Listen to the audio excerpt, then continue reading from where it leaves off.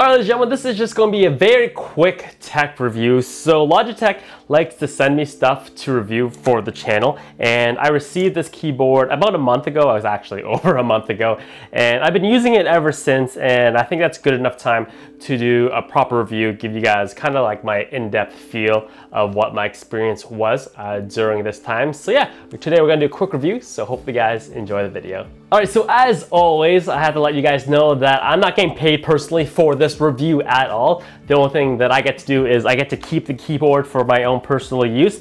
And I'll be honest with you guys, this keyboard, the G512, is not a keyboard that I would have gone out of my way personally to purchase myself because I'm more of a 10 keyless guy. I've been a 10 keyless guy for about six years now. They're my favorite type of keyboard and obviously this keyboard is a full keyboard with a number pad on the right hand side. So Logitech has their own proprietary brand of switches. They don't use the traditional Cherry MX switches that the majority of other companies use, but Uh, their G-Romer switches pretty much go in line with what all the other ones that major ones that you can find on the market. So they have a variant of a brown, blue, as well as a red. And as you can probably hear, uh, this is a blue switch. I'm personally myself a brown switch, but you do have the option of a brown switch if you're kind of in this line. So in terms of connectivity, you have a fairly beefy and very robust, as you can see right here, how thick uh, this cable is. Uh, the only thing that I would have changed is I would have liked this cable to be detachable in some sort of way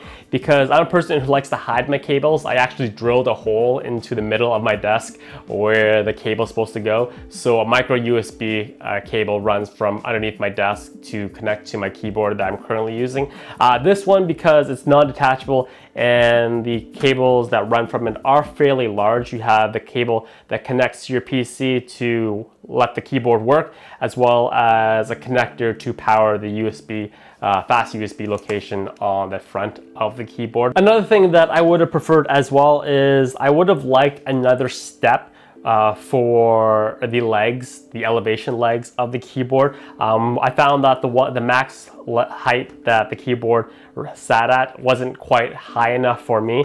Um, I like it to sit a tiny bit higher, so um, if it could have had another step up, I would have just felt a little bit more comfortable. Uh, but other than that, the build quality is exceptional as you expect from a keyboard that has a top made out of aluminum. Uh, there's very little flex if at all, in the keyboard. There's really nothing as worse as typing on like a mushy keyboard that kind of like bows in the middle as you're typing with it. It feels very gross and unnatural. Um, one other touch that I would have liked is I would have liked the Logitech logo on the front of the keyboard on the top right hand side uh, to illuminate in RGB. And speaking of RGB, as you can expect, like I said earlier, um, this is a fully RGB mechanical keyboard. So you pretty much have all the effects that you have become too accustomed to uh, these days with customizable lighting options as well as default ones that you can select. It also has some connectivity with chat programs like Discord as well. So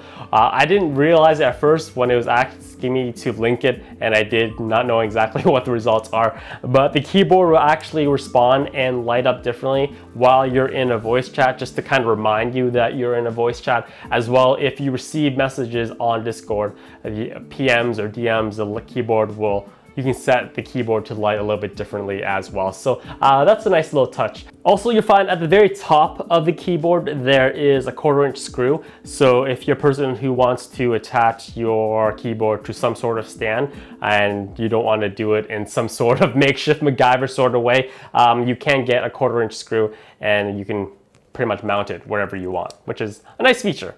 Alright ladies and gentlemen, that is my down and dinner review of the Logitech G512 mechanical RGB keyboard. Once again, this is a keyboard that wasn't designed for someone like me. I'm a huge 10 keyless fan at heart and I probably will always be, but it is definitely solidly built. You feel like you're typing on something substantial as you're using it. And you have various options as well for switches depending on your preference and some small other tweaks as well as I would have made, but nothing too substantial. So yeah, hopefully you guys enjoyed the review. Hopefully you found my information informative of what I liked and disliked about it. And as always, if you enjoyed these videos, give the video a quick thumbs up and I'll see you guys next time for the next review. All right, as always, have a nice day.